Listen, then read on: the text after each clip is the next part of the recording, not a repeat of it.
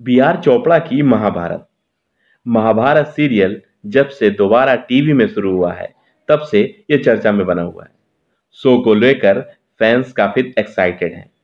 वैसे महाभारत जितना बड़ा एपिसोड है, उतने बड़े बड़े क्वेश्चन इस समय दर्शकों के मन में आ रहे हैं। न जाने लोग कैसी कैसी बातें कर रहे हैं। कोई कह रहा है कि आखिर इतने बड़े सीरियल्स को बनाने में, एक एपिसोड बनाने में कितना खर्चा हो जाता होगा। कोई कह रहा है अरे सुना है, इसमें जूही चावला ने काम किया है। इस वीडियो में आज हम आपके सामने महाभारत से जुड़े कुछ अनसूझे सवालों को लेकर आए हैं, जो आपकी मन की तृष्णा को शांत करेगा। नमस्कार दोस्तों, स्वागत है आप सभी का आपके अपने चैनल ब्यूटीफुल बॉलीवुड में।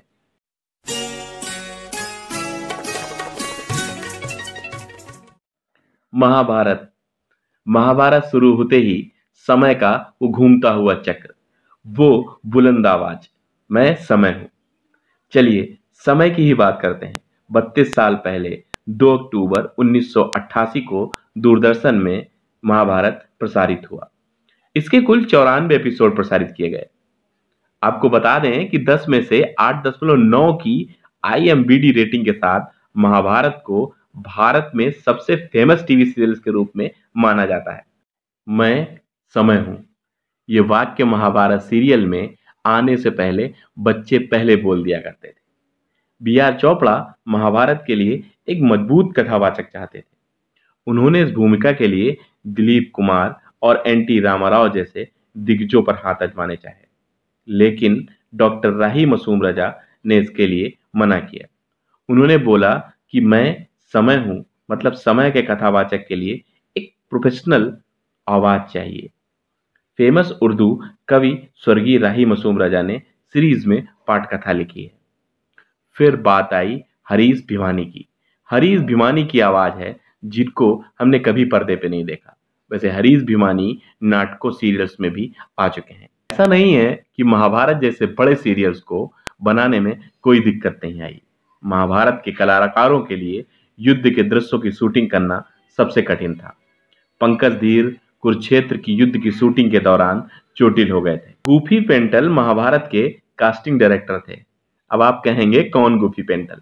उन्होंने महाभारत में शकुनी की भूमिका निभाई है, जिन्होंने इतनी बड़ी महाभारत की टीम का सिलेक्शन किया। अब बात आती है सबसे इंटरेस्टिंग चलिए, जूही चावला के बारे में हम बात कर रहे थे। जूही चावला को द्रौपदी की भूमिका के लिए शॉर्टलिस्ट किया गया था। लेकिन बाद में उन्होंने कयामत से कयामत तक फ़िल्म की शूटिंग के कारण इस एपिसोड में काम करने से मना कर दिया। फिर रूपा गांगुली को उनके अच्छे हिंदी वक्तव्य, वक्ता होने के कारण इसमें द्रौपदी के रोल के लिए चुना गया। प्रोजेक्ट महाभारत आने के कुछ समय बाद ही बी आर चोपड़ा की तबीयत खराब हो गई। इस वजह से इस पूरी डायरेक्टर की, डायरेक्शन की ज़िम्मेदारी उनके बेटी, बेटे रवि चोपड़ा ने ले ली। रवि चोपड़ा कई बार इस शो को डायरेक्ट करने में टेंशन में हो जाते थे। अब पूछिए टेंशन का कारण क्या था? शो में एक एपिसोड को बनाने में छह लाख रुपए का बजट था। लेकिन रवि ने अपने पापा से कहा था कि वो कितनी भी कोशिश कर लें, साढ़े सात लाख रुपए से कम बजट नहीं हो पाएगा। वैसे आपको बता दें कि इस पूरे एपिसोड को बनाने में नौ करोड़ रुपए लगे थे।